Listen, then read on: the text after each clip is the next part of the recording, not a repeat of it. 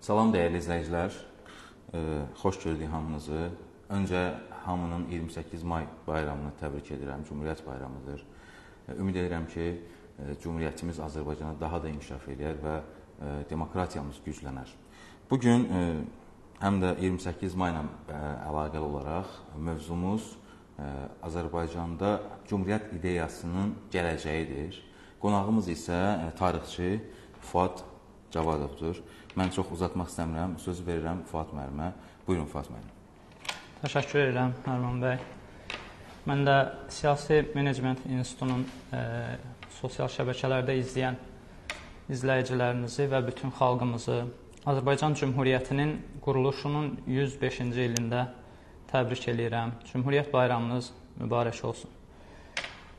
Cümhuriyyət bayramı e, niyə Cümhuriyyət bayramı, niyə Respublika günü? Mənə görə daha e, önəmlidir biz bu günü əlamətdar olaraq Respublika günü adlandırıb.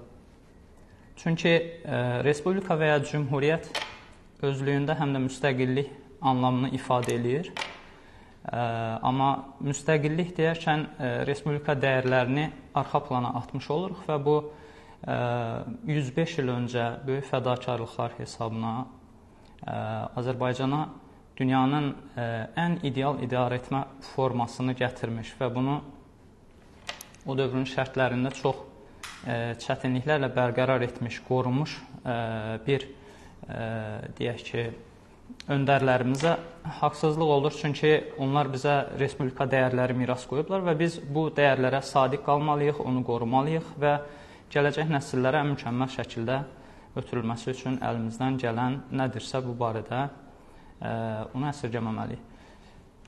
Azərbaycan Cümhuriyyəti haqqında qısa məlumat verim, sonra cümhuriyyətçilik, respublikaçılıq dəyərləri haqqında danışarıq. Azərbaycan Xalq Cümhuriyyəti 1918-ci ilin 28 may tarixində Tiflis şəhərində elan olunub. Daha öncəki dövrdə Azərbaycan ümumiyyətlə Cənubi Qafqaz regionu Çar Rusiyasının hakimiyyəti altında idi. Rusiya imperiyası dağıldıqdan sonra Cənubi Qafqaz regionunda da müstəqillik meylləri və müstəqil dövlətçilik ənənələri yarandı. Düzdür, müasir dövrdə, sonrakı dövrdə Cənubi Qafqazın digər xalqları, Gürcüstan və Ermənistan özlərinin keçmiş dəyərlərinə, özlərinə qayıda bildilər, amma təəssüf ki, Azərbaycan 1918-ci ilin Cümhuriyyət dəyərlərinə qayıda bilmədi. Azərbaycan Cümhuriyyəti siyasi quruluşuna görə parlament respublikası idi və hər kəsin bərabər şəkildə təmsil oluna bildiyi bir idarəetmə formasına sahib idi. Hüquq bərabərliyi vardı. Müxtəlif xalqların Azərbaycan parlamentində təmsil olunma hüquqları vardı. Təəssüf ki, biz e, Sovet imperiyası dövründə formal olaraq respublika anlayışı saxlanılsa da, amma respublikaçılıq ənənəsi yox idi və 1991-ci ildə SSR dağılanda e, daha öncə yaradılmış prezident üsul idarəsinə əsasən e, Azərbaycanda da ümumiyyətlə bütün Cənubi Qafqaz respublikalarının, bütün postsovet məkanında e, respublikalar bərpa edilərkən prezident respublikası formasında bərpa edilmişdilər. Azərbaycan hal-hazırda da prezident respublikası üsul idarəsi ilə e, deməli mövcuddur. Amma 1918-ci il e, Azərbaycan Xalq Cümhuriyyətinin idarəetmə forması e, fərqli idi. Orada parlament respublikası vardı. Orada e, hökumət parlamentin etimadını itirdikdə e, güvən itirirdi və nəticədə istefaya göndərilir yeni hökumət təşkil olunması üçün təşəbbüs göstərilirdi. Respublika ifadəsi və ya cümhuriyyət ifadəsi biz bunun hərfi mənası ilə baxsaq, cümhuriyyət bir ərəb sözüdür, ərəb mənşəli bir sözdür. Cümhurun, yəni çoxluğun hakimiyyəti anlamını ifadə edir. Respublika latınca bir məna ifadə edən, yenə xalq işi, xalq hakimiyyəti mənasını ifadə edən bir termindir deyək. Tarixin ilk respublikası qədim Romada yaranıb. Miladdan öncə 509-cu ildə Romalılar o dövrün şərtlərinə görə aristokratik respublika yaratmışlar və sonrakı dövrlərdə, sonrakı əsrlərdə dünyanın ayrı-ayrı xalqları respublika idarə etmə formasına müxtəlif yeni çalarlar gətirərək respublikaçılıq ənənəsini biraz daha zənginləşdiriblər. Türk İslam şərqində respublika dəyərlərini ilk dəfə Azərbaycan xalqı bərqərar eləyib. Azərbaycan xalqı bu idarə etmə formasını mənimsəyir. Bu idarə etmə formasını xalqımıza bəxş edən, xalqımıza bərabərlik, siyasi hüquqlar, ölkənin iqtisadi imkanlarının hər kəs tərəfindən əlçatan olduğu bir idarəetmə forması gətirən öndərlərimiz Məhəmməd Əmin Rəsulzadə, Fətəlxan Xoyski, Nəsib bəy Yusufbəyli, Əlmərdan bəy Topçubaşov, Məmməd Yusif Cəfərov kimi şəxslər sıranı çoxalda bilərik. E, deməli, bu öndərlərimizin hamısını adını çəkdiyimiz və ya çəkə bilmədiyimiz öndərlərimizin hamısını böyük sayğı ilə, ehtiramla, e, xüsusi olaraq bu gün də ehtiramla yad edirik.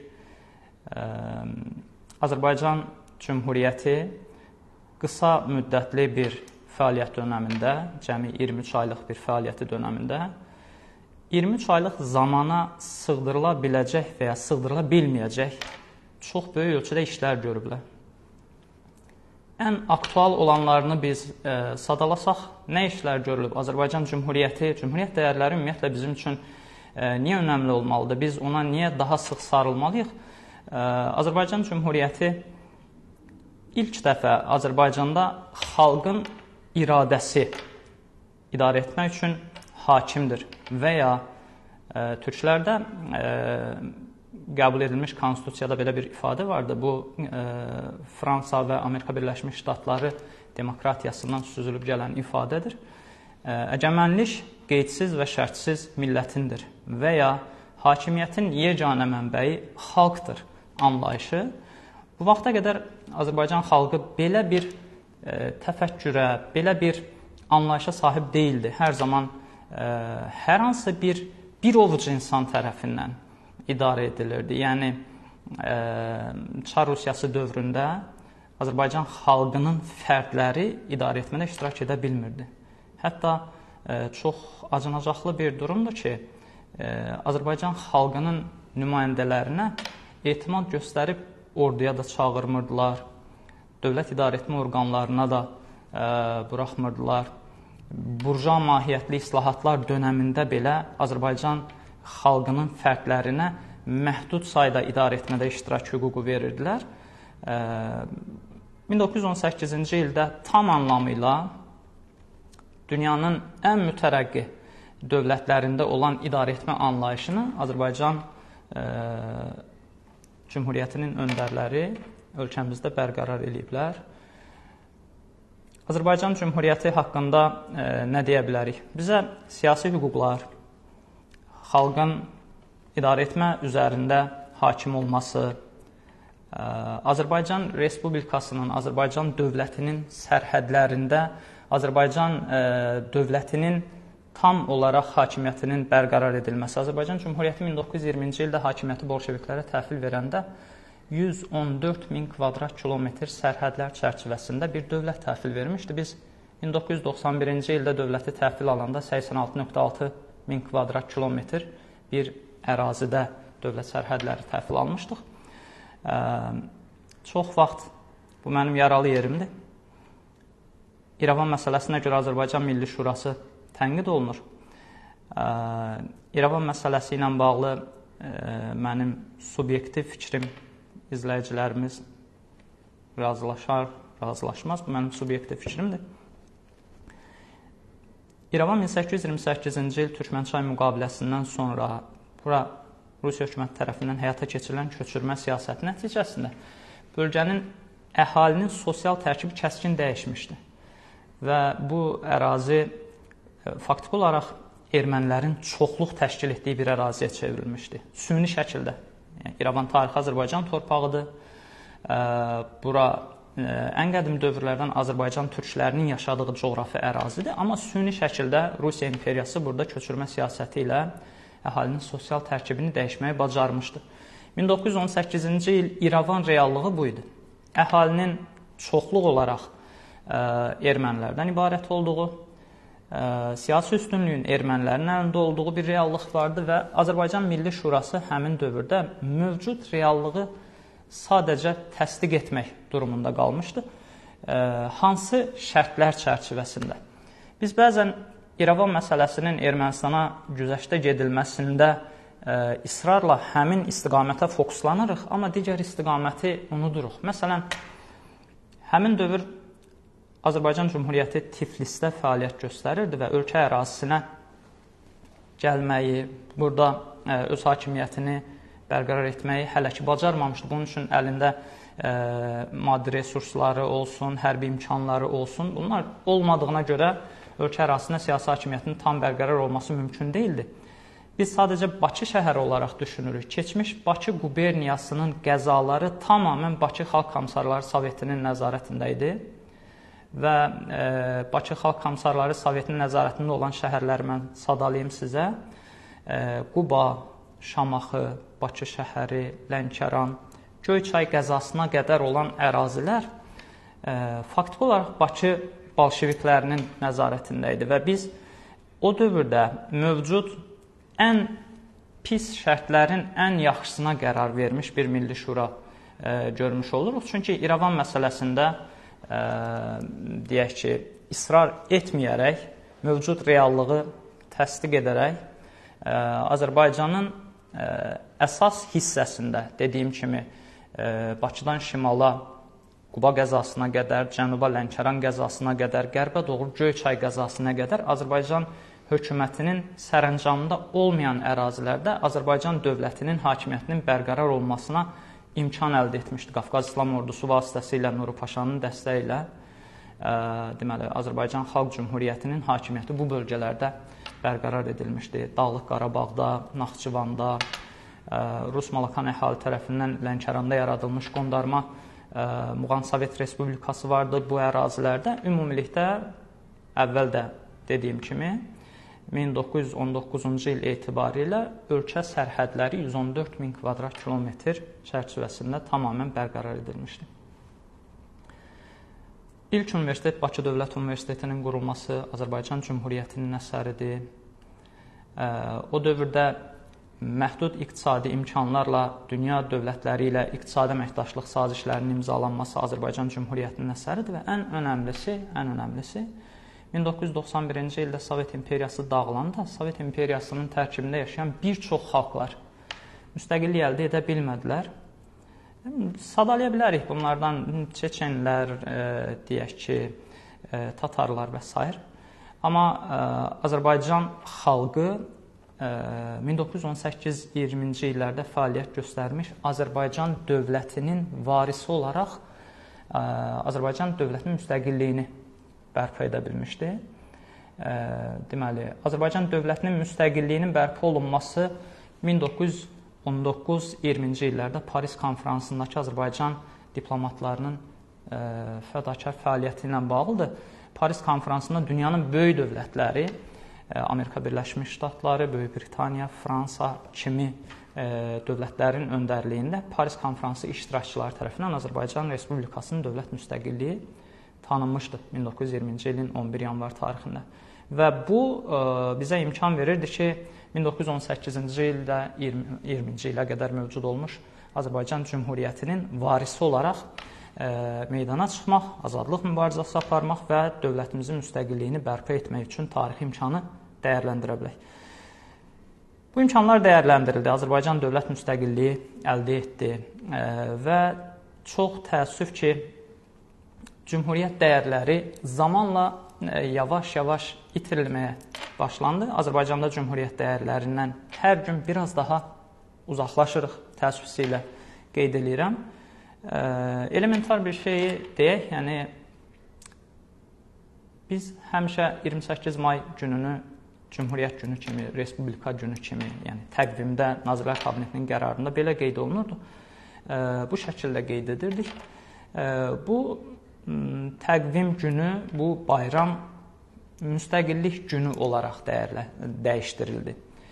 E, təbiidir, müstəqillik günüdür. Azərbaycan öz müstəqilliyini 1918-ci ilin 28 mayında qəbul eləyib, amma respublika ifadəsi özündə həm də müstəqilliyi ehtiva edən bir anlayışdır və ə, respublika ifadəsindən vaz keçilməməli idi. Cümhuriyyət dəyərləri ə, qorunmalı idi. Cümhuriyyət nədir? Bir-birinə tərs olan iki anlayış deyək. Var oliqarxiya, ə, var respublika və ya cümhuriyyət. Ə, oliqarxiya azlığın çoxluq üzərində hakimiyyəti anlamına gəlir.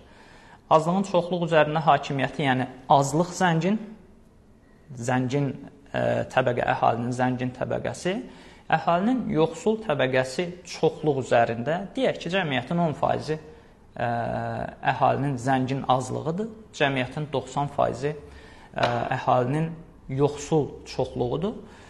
Oliqarxiyada zəngin azlıq yoxsul çoxluq üzərində hakimiyyətə sahibdir. Cümhuriyyətdə cümhur bayaq ifadə etmişdim, bir daha təkrar eləyirəm. Ərəbcə çoxluq, çoxluğun hakimiyyəti mənasını ifadə edir. Yəni hamının idarə etmədə, dövlət idarəçiliyində təmsil oluna bildiyi bir anlayışdır cümhuriyyət və ya respublika xalq işi, xalqın idarə etmədə iştirak edə bildiyi bir anlayışdır. Deməli, respublika fəlsəfi olaraq desək və ya özündə daşıdığı məna etibarilə desək, respublika məna etibarilə nədir? Respublikada idarə etmə xalq iradəsinə bağlıdır. Yəni xalqın iradəsi ilə seçilir, formalaşır. İdarə etmənin səlahiyyətləri və səlahiyyət müddəti məhduddur. O qeyri-məhdud səlahiyyətlərə malik olmamalıdır və ya onun səlahiyyət müddəti ölçüsüz olmamalıdır. İdarə etmə xalq içərisindən, xalqın iradəsi ilə seçilməlidir. Hər kəs öz iradəsinə əsasən xalqı idarə etməməlidir. İdarə etmədə şəffaflıq tam təmin olunmalıdır. İdarə etmə anlamalıdır ki, o xalq iradəsinə bağlıdır. Misal üçün, səlahiyyət müddəti 4 il, 5 il dünya demokratiyalarında e, hökumətlərin və ya deyək ki, parlamentlərin səlahiyyət müddəti müəyyən edilir 4 və ya 5 il müddətinə. Siyasi təşkilatlar, siyasi institutlar, partiyalar, müxtəlif deyək ki, ictimai təşkilatlar idarə etmədə təmsil olunduğu zaman bir şeyin şuurunda olur ki, mənim xalqın mənə göstərdiyi etimadın müddəti 4 ildir və növbəti 4 ilin sonunda mən yenidən publikanın, yəni xalqın qarşısına çıxacam və yenidən xalq mənimlə bağlı qərar verəcək. Mənim e, davam edəcəyimə, seçilib davam edəcəyimə və ya e, deyək ki, hakimiyyətdən göndəriləcəyimə qərar verir. Mən işlərimi elə tənzimləməliyəm, elə mükəmməl bir şəkildə idarə etməni şəffaf və hesabatlı şəkildə təmin etməliyəm ki, e, publika, xalq kütləsi e, o idarə etməni deyək ki, düzgün qiymətləndirsin və mənə növbəti dəfə şans versin seçkilərdə. Bu respublikanın fəlsəfi mənasıdır, dərinliyidir. Amma təəssüf ki, bir çox postsovet respublikalarında, həmçinin də bizdə deməli idarə etmənin bu qədər şəffaf və hesabatlı olmadığına şahid oluruq şəffaf seçkilər, azad mətbuat, siyasi institutların fəaliyyəti, bunların olmadığı məhdud şərtlərdə biz e, bu gün bu məhdud imkanlarla Cümhuriyyət bayramımızı qeyd edirik. E, amma 105 il ötməsinə baxmayaraq hələ də bu Cümhuriyyət dəyərlərinə sadiq olan e, ölkəmizdə böyük bir kütlə var. E, ümid edirik ki, bu Cümhuriyyət dəyərlərinə bağlı olan, Cümhuriyyət dəyərlərinə sadiq olan insanlar səbirsizliklə bir tarixi şəraitin yetişəcəyini və yenidən ölkəmizdə cümhuriyyət dəyərlərinin bərqərar olacağını gözləyirlər. Elə bir cümhuriyyət olmalıdır ki, o şəffaf bir şəkildə xalq iradəsi ilə seçilməlidir, hesabatlı idarə etməlidir, xalq kütlələrinə idarə etmənin bütün sahələri şəffaf, açıq olmalıdır insanlar idarəetmənin hansı şəffaflıqda fəaliyyət göstərdiyini izləyə bilməlidir, onu qiymətləndirə bilməlidir ki, növbəti deyək ki, seçimdə onunla bağlı düzgün qərar verə bilsin. Ölkənin iqtisadi imkanları hər, hər kəs üçün əlçatan olmalıdır. Azərbaycan zəngin bir ölkədir, amma təəssüf ki, ölkənin iqtisadi imkanları hər kəs üçün əlçatan deyildir və dediyim kimi cümhuriyyət dəyərlərinə bağlı olan, sadiq olan insanlar belə bir tarixi şəraitin yetişəcəyini və ölkəmizdə sadaladığım olmayan, heç olmayan və ya məhdud şəkildə mövcud olan dəyərlərin yenidən xalqımıza ərmağan ediləcəyini və ya xalqımızın özünün onu bərqərar edəcəyini səbirsizliklə gözləyirik. Mən də bunu gözləyən xalqımızın fərdlərindən biriyəm. Cümhuriyyət bayramı münasibəti ilə bir daha xalqımızı ürəkdən təbrik eləyirəm. Nə yaxşı ki, 105 il öncə qurucu öndərlərimiz bizə belə bir cümhuriyyət, belə bir cümhuriyyət dəyərləri miras qoyublar. Təşəkkür edirəm formal çıxışınıza görə. Mənim belə bir sualım var. Siz həm də ə, müəllim kimi fəaliyyət göstərirsiniz. Bəli. Ə, məktəblərdə səhv etmirəmsə məktəbdə.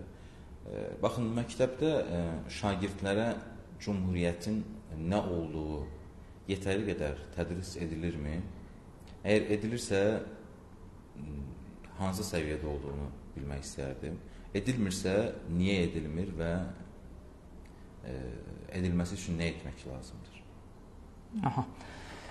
Təəssüf ki, bəzi tarixi günlər, əlamətdar günlər var ki, O günlərlə müqayisədə Cümhuriyyət bayramı 28 may deməli dövlət səviyyəsində, nazirlik səviyyəsində məktəblərimizdə çox da ciddi bir tədbir olaraq qeyd edilmir.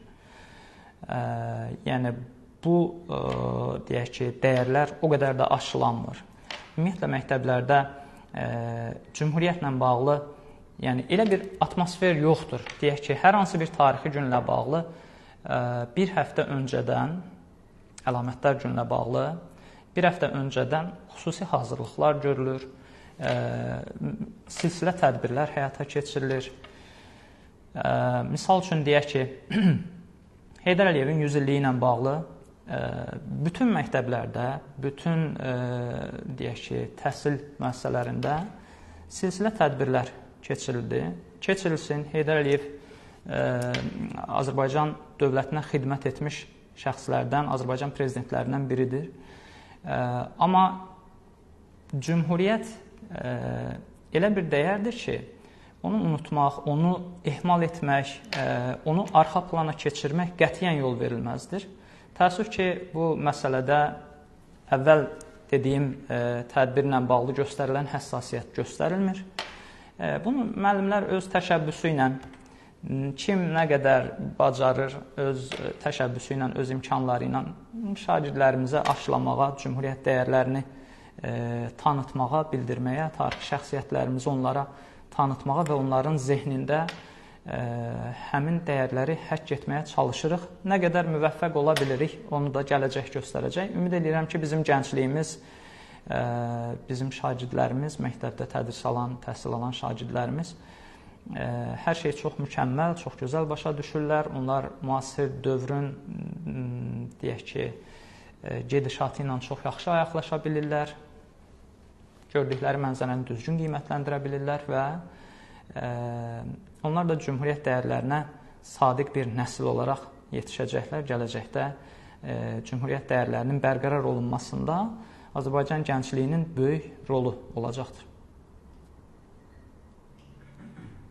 Fatma, Məmməd Əmin Rəsulzadənin və onun yol e, yoldaşlarının birlikdə cümhuriyyət qurduğu adamların heykəllərinin e, olmaması və yaxud da Rəsulzadənin yeganə heykəlinin Bakıda Novxanında öz kəndində olmasının e, cümhuriyyət ideyasının gələcəyi haqqında bizi təşvişə, qorxuya salmalıdırmı? Yoxsa bu əslində cəmaatda, e, insanlarımızda biraz da əks effekt yaradır? Adətən ə, hər hansı bir ideologiya olsun, hər hansı bir fəaliyyət olsun, o daha çox baskıya, təzyiqə məruz qalanda insanlar ə, onunla bağlı daha çox həssas olurlar. Məsələn, təsəvvür eləyin ki, Bakı şəhərində və ya respublikamızın rayon, şəhər qəsəbələrində Azərbaycan Cümhuriyyəti ilə bağlı kifayət qədər abidə qoyulub, parklar salınıb, küçə prospektlər, məktəblərə Cümhuriyyət öndərlərinin adları verilib. Düşünürəm ki, bu ə, e, zamanla adiləşəcək və ə, e, necə ki normalda günümüzdə insanlar ə, e, məsələn Koroğlu heykəlinin qarşısından keçərkən və ya deyək ki, deyək, Nəriman Nərimanovun heykəlinin qarşısından keçərkən ciddi mənada heç bir şey hiss etmirlər. O da o şəkildə adiləşəcək. Düşünürəm ki, belə bir təzyiqin olması Azərbaycan Cümhuriyyətinə insanların, gəncliyimizin daha sıx sarılmasını təmin edir. Ev yox qoy heykəlləri, abidələri olmasın. Onların abidələri insanların qəlbindədir. İnsanlar onlara bəslədikləri sevgini qəlbində daşıyır. Biz bəzi şeyləri bəzən zorla təbliğ edəndə insanlar o şeydən usanır və yayınır. Bəzi şeyləri insanlar belə deyim, insanlar özləri axtarmalıdırlar. Özləri onu araşdırmalı, tapmalı, ona özü öz içində sevgi bəsləməli, araşdırmalı. Bu daha səmimi olur daha içdən olur, daha davamlı olur. Düşünürəm ki, bu şərtlərdə belə ə, e, tarixin 70 illik Sovet imperiyası olsun, e, ondan sonrakı müstəqillik dövründə yanaşılan biganə münasibət olsun, Azərbaycan Cümhuriyyətinə, Cümhuriyyət dəyərlərinə e, bir ehmalkarlıq yaratmayıbsa, demək ki, bu yəni təzyiq olması və ya olmaması heç bir şey dəyişmir. Bizdə ə, insanların baxışı aydındır. Onlar cümhuriyyət dəyərlərinə sadiqdirlər. Fuad müəllim, sizdən ə, qısa olaraq cümhuriyyətçilərin mühacirət həyatı haqqında məlumat almaq istəyərdik.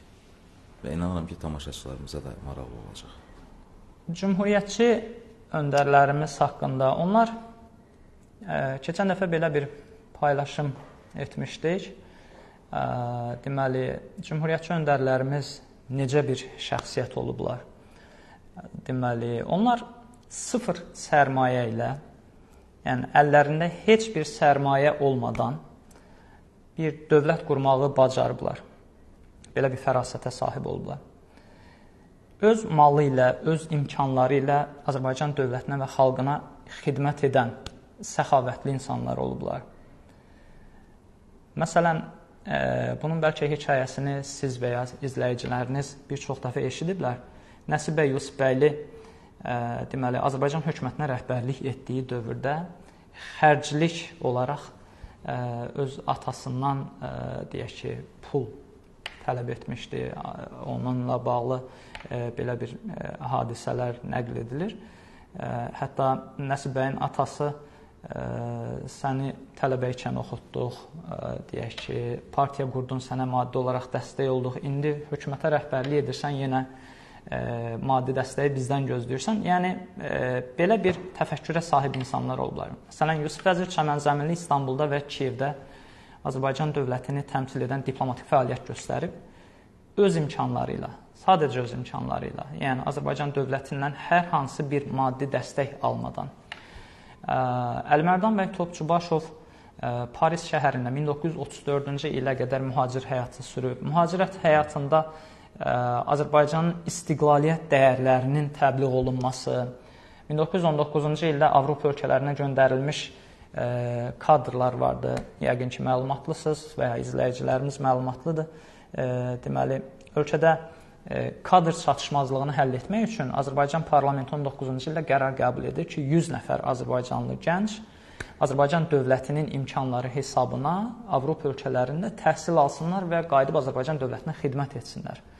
Hacı Zeynalabdin Tağıyev o, o deyək ki, tələbələrin bəzilərinin bir hissəsinin ehtiyaclarını qarşılamışdır, amma sonradan Sovet imperiyası qurulduqdan sonra Tağıyevin də o imkanları əldən getmişdir. Daha sonra Azərbaycan dövlətinin də elə bir deyək ki, dəstək olması imkanı itirilmişdir və Əlmərdan bəy Topçubaşov 1919-cu ildə Azərbaycan dövlətinin Avropa ölkələrinə göndərmiş olduğu tələbələrin təhsilini davam etdirməsi və başa vurması üçün çox ciddi fədakarlıqlar eləyib. Müəyyən deyək ki, Azərbaycandan və Qafqaz xalqlarından olan ə, adamlardan yəni pul toplayıb onların təhsil xərclərini qarşılamağa çalışıb. Əlmərdan bəy Topçubaşov Paris şəhərində Zəfər tağı var. Çox dünya miqyasında tanınmış tarixi şəxsiyyətlərin vəfatı zamanı onların Zəfər tağından keçidi həyata keçirilirmiş. Əlmərdan bəy Topçubaşov Türk müsəlman şərqində yeganə tarixi şəxsiyyətdir ki, Parisin Zəfər tağından keçirilərək həmin təntənəli mərasimlə dəfn mərasimi həyata keçirilmişdir. Məhəmməd Əmin Rəsulzadə deməli Azərbaycanda Sovet imperiyası qurulduqdan, Sovet Respublikası qurulduqdan sonra həbs olunur ona Sovet Respublikasına qalıb xidmət etmək təklif olunur. O bunu rədd edir və Stalin onun ölkəni tərk etməli olduğunu bildirir. Türkiyəyə, Finlandiyaya, Polşada, Almaniyada e, mühacir həyatı sürüb və olduğu hər yerdə Azərbaycanın istiqlal dəyərləri uğrunda mübarizə aparıb. E, müxtəlif qəzetlər, jurnallar, dərnəklər yaradıb olduğu yerlərdə e, Qafqaz və Azərbaycan xalqının təmsilçilərinin e, deyək ki, e, istiqlaliyyət dəyərlərinə e, yenidən güvənməsi, inanması, onun bərpası üçün əlindən gələn e, hər cür imkanı e, əsirgəməyib. Ankarada e, deyək ki, fəaliyyət göstərib, Polşada fəaliyyət göstərib. Almaniyada 2-ci Dünya müharibəsi dövründə deməli Almaniya hökuməti ilə ə, e, əməkdaşlıq etmə cəhdləri olub, amma uğursuz olub təəssüf ki. Çünki o dövr Alman hökumətinin siyasəti və ə, e, düşüncəsi bəlli idi və Məhəmməd Əmin Rəsulzadə onlarla əməkdaşlıq etməkdən imtina edir, geri dönür. Ə, e, belə Nəsib bəy Yusif bəyli 1920-ci ildə ə, Azərbaycanda Sovet Respublikası qurulduqdan sonra terror aktı nəticəsində deyilənlərə görə Kürdəmir qəzası ərazisində qətlə yetirilib və təəssüf ki, hal-hazırda da onun harada dəfn olunduğu, məzarının harada olduğu ilə bağlı heç bir məlumat yoxdur. Fətəli xan Xoyski Azərbaycanda Sovet Respublikası qurulduqdan sonra ölkəni tərk eləyir, Tiflisə köçür. Orada ə, erməni terrorist terroristlər tərəfindən ə, qətlə yetirilir və Tiflisdə dəfn olunur. Məzarı hal-hazırda oradadır. Belə Yusif Vəzir Çəmənzəminli mühacir həyatı sürüb, daha sonra sürgünə göndərilib 1940-cı ildə və İslah Əmək Düşərgəsində həyatını itirib. Bəzi araşdırmaçılar Əli və Nino əsərinin Yusif Vəzir Çəmənzəminliyə aid olduğunu qeyd edirlər. O Qurban Səid təxəllüsü ilə adının bilinməməsi üçün. Deməli 1937-ci ildə Azərbaycan SSR Yazıçılar Birliyinə onunla bağlı şikayət ünvanlayırlar ki, inqilab dəyərlərinə zidd olan bir məzmunda əsərlər yazır və Yusif Vəzir Çəmənzəminli onunla bağlı araşdırma qərarı verildikdən sonra əlyazmalarının bir hissəsini gizlədir, bir hissəsini yandırır, məhv etmək qərarına gəlir. Amma bütün bunlara baxmayaraq Yusuf Vəzir Çəmənzəminli haqqında yenidən sürgün qərarı verilir və bu sürgün qərarına əsasən o deməli İslah əmək düşərgəsinə göndərilir və orada həyatını itirir. Belə Azərbaycan ə, Cümhuriyyətinə xidmət etmiş dövlət adamlarımız ə, bu fədakarlıqlar hesabına Azərbaycan ə, deməli istiqlaliyyət dəyərlərini qorumağa çalışıblar. Amma ə, o dövrün şərtlərində ə, istiqlaliyyət dəyərlərini qorumaq təəssüf ki, mümkün olmadı ə, və onu yenidən bərpa etmək dünyada baş verən, sonrakı ə, dövrdə dünyada baş verən proseslərlə bağlı bunu bərpa etmək mümkün olmadı və bu yalnız 70 il sonra 1991-ci ildə Azərbaycan Cümhuriyyətinin, Azərbaycan Respublikasının yenidən dövlət müstəqilliyi bərpa edildi. Təşəkkür edirəm müəllim. Bir daha bir sualım olacaq sizə. Bu gün biz burada mühazirədə əyləşdiyimiz zaman e, Türkiyədə bildiyimiz kimi e, prezident seçkilərinin ikinci turu keçirilir. Və mən e, Rəsulzadənin Atatürklə olan münasibətləri haqqında e, sizdən qısa bir məlumat almaq istəyərdim. Və Rəsulzadənin və Atatürkün e, yaratdığı cümhuriyyətin bugünkü günü ilə bağlasanız həmin məlumatı çox əla olardı. Təşəkkür edirəm. Rəsulzadə və Atatürkün Rəsulzadə ilə bağlı e, belə bir fikri var. E, o türk xalqlarında üzərində Cümhuriyyət bayrağını məndən daha öncə e, qaldırmışdır. Mən isə həmin Cümhuriyyət bayrağını qorumaqla mükəlləfəm və ya onu ə, e, davam etdirməklə ə, e, mükəlləfəm. Belə bir bəyanı vardı.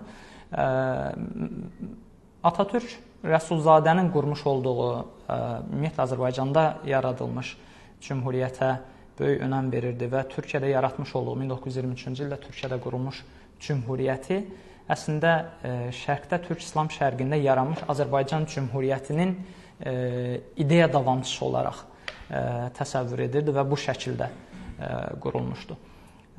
Atatürkün qurmuş olduğu cümhuriyyət və Rəsulzadənin qurmuş olduğu cümhuriyyət dövrün şərtlərinə görə baxsaq bir-birindən biraz fərqlənən bir deyək ki, cümhuriyyət dəyərləri vardı, amma daha sonrasında Türkiyədə cümhuriyyət dəyərləri inkişaf eləyib Avropa cümhuriyyətləri, Avropa demokratiyası dəyərlərində inkişaf etmişdi. Mustafa Kemal Atatürkün qurmuş olduğu cümhuriyyət aparılan azadlıq mübarizəsinin nəticəsi idi. Eynən Məhəmməd Əmin Rəsulzadə kimi. Eynən Məhəmməd Əmin Rəsulzadənin qurmuş olduğu cümhuriyyət Azərbaycan ərazisində hakimiyyətinin bərqərar olması üçün xarici işğalçılara qarşı aparılan mübarizə nəticəsində müvəffəq ola bilmişdi. Mustafa Kemal Atatürkün də qurmuş olduğu cümhuriyyət işğalçıların Türkiyə sərhədlərindən çıxarılması və Türkiyədə türk xalqının hakimiyyətinin bərqərar olması mümkün olmuşdu. Bu şəkildə bunları deyək ki, Türkiyə və Azərbaycan cümhuriyyətlərini eyni paraleldə qoymaq olar.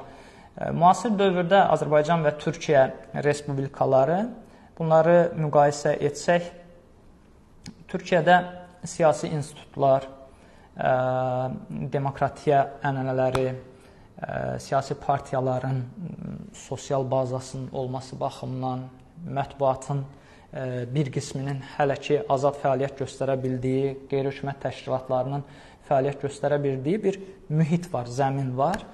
Azərbaycanda isə təəssüf ki, belə bir zəmin, belə bir mühit yoxdur. Məsələn, çevrəmizdə dostlarımız, tanışlarımız, əhatəmizdə olan insanlar Türkiyədə keçirilən seçkilərə sanki bir yarış kimi baxırıq.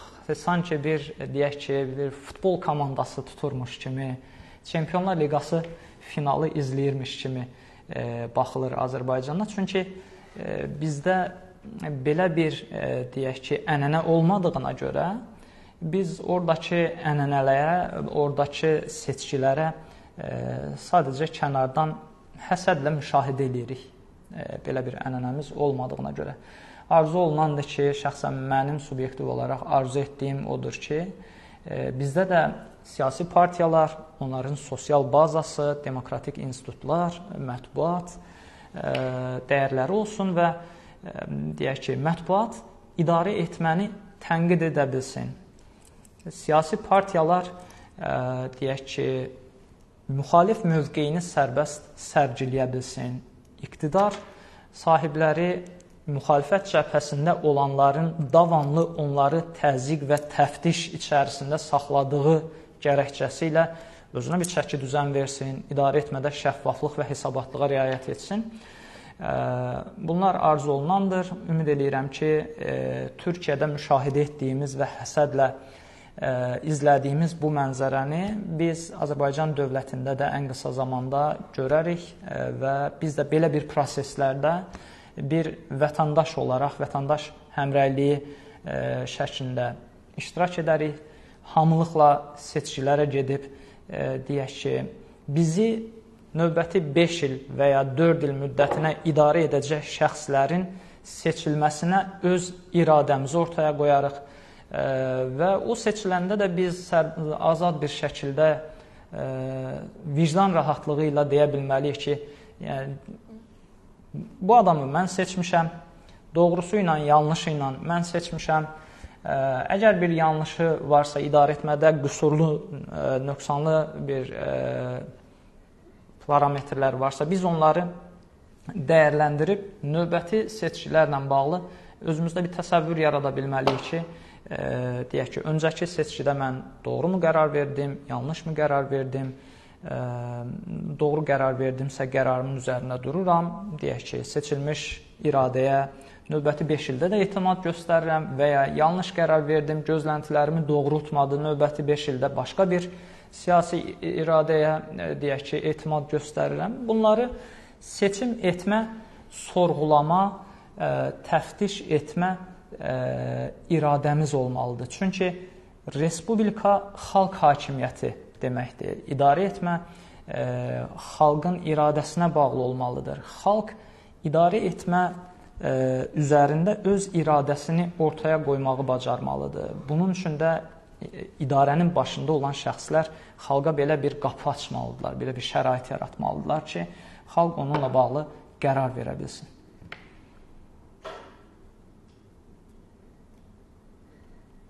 Fad müəllim sizə son bir sualım olacaq.